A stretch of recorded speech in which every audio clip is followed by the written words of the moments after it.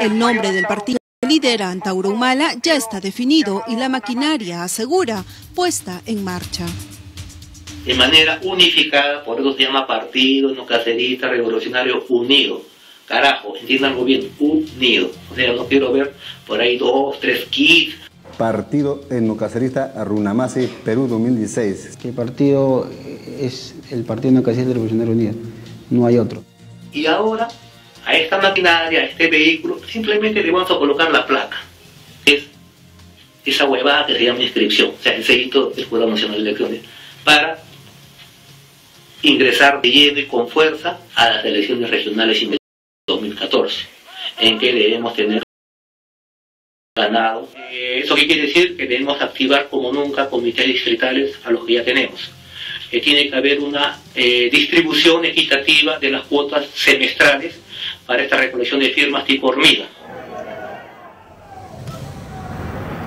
Según reveló en este evento, será el propio Antauro Humala quien compre el nuevo kit electoral y lo haría a través de una carta poder otorgada a su prima, Liliana Humala. Para esta situación es muy importante mi liberación, puesto que yo cumpliré el rol de locomotora para los 130 vagoncitos que tendremos atrás. Y en base a eso toda la militancia. Entonces, eh, aquí ya tenemos que abordar el Poder Judicial, lo del Poder Judicial y lo de mi sentencia y lo de mi situación judicial. Ahí se va a explayar la compatriota Liliana Humala. La libertad es una posibilidad que Antauro Humala no ve nada lejana.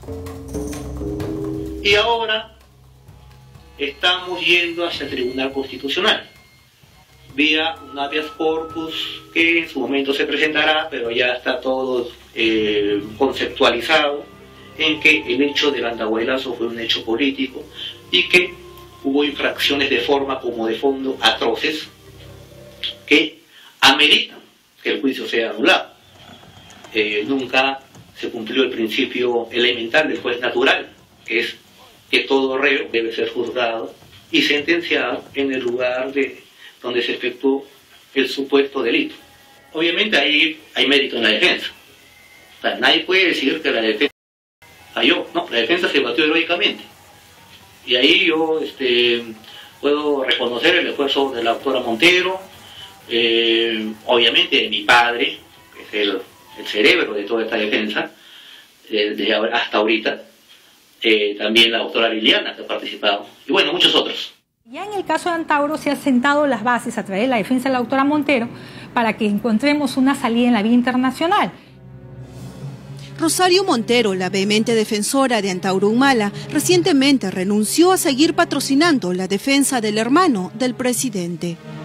¿Por qué tuve que apartarme de la defensa? Porque lamentablemente el padre de Antauro sale en un medio de comunicación, en una entrevista, y manifiesta que la doctora Montero había fracasado en la defensa, que la doctora Montero mentía en el proceso, que la doctora Montero era una simple asesora y que me sobraba el tiempo y que iba a visitar a Antauro. Su experiencia se plasmará próximamente en un libro que promete será revelador. Hay que ser un poco descerebrada para seguir en una defensa cuando no hay agradecimiento, cuando hay maltrato, entonces eso me obliga a apartarme de la defensa. Y nuevamente Don Isaac, el patriarca de los Humala, asume la defensa de su hijo Antauro y esboza su estrategia. No conocen que, los que existen delitos políticos en el Perú. Pensaban que hay solamente delitos comunes. Esos delitos son solamente dos, rebelión y sedición. En esta defensa, Antauro revela que Ollanta Humala denunció a militares que firmaron el acta de sujeción de Vladimiro Montesinos, incluso a algunos que hoy están cerca de su hermano, como el coronel en retiro Adrián Villafuerte, actual consejero presidencial. Yo me acuerdo de que lo convencí a mi hermano y mi hermano creo que pidió opinión de, de nuestro padre, que es abogado y un jurista de nota, sobre que había que denunciar dentro del Consejo Supremo de Justicia Militar, él como militar en actividad, porque yo estaba retirado, a todos los 1.200 o 1.400 generales, coroneles, almirantes, vicealmirantes, Fuerzas Armadas, Fuerzas Policiales, firmantes de la presujeción. Y fueron denunciados.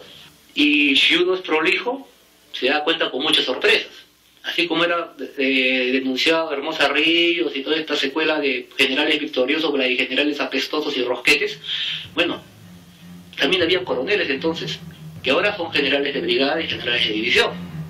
Y también está nuestro amigo Villafuerte, Adrián Villafuerte Macha, entre otros, que ahorita los vemos en la gobernación. Entonces, eh, estamos viendo pues una serie de incoherencias eh, dentro de la estructura principal o más elevada del gobierno, porque todavía no tienen capacidad de deshacerse de la corrupción, de la traición y de la transnacionalización del país. ¿Él no tiene ninguna bollería dentro del penal? Tiene derecho, tiene su lapicero, tiene su escritorio, tiene sus, ¿no? Escribe libros, ya, ya está sacando ya el, tercer libro de ahí. Antauro Humala duerme en una cama, en un camarote de cemento, con un colchón simple. Y ojalá Antauro Humala tuviera algún privilegio porque se lo hubiera ganado, ¿no? Quizá en estos minutos Antauro Humala esté preparando un nuevo guion televisivo, cotejando y corrigiendo su nuevo discurso político, no dejando en pie a ninguno de sus adversarios o enemigos. Lo cierto es que cumplidos los primeros 100 días del gobierno de su hermano, la verdadera oposición política del presidente Ollanta no parecería estar en los zarandeados pasos perdidos de nuestro desprestigiado parlamento, sino en los flamantes sets televisivos del penal de Piedras Gordas.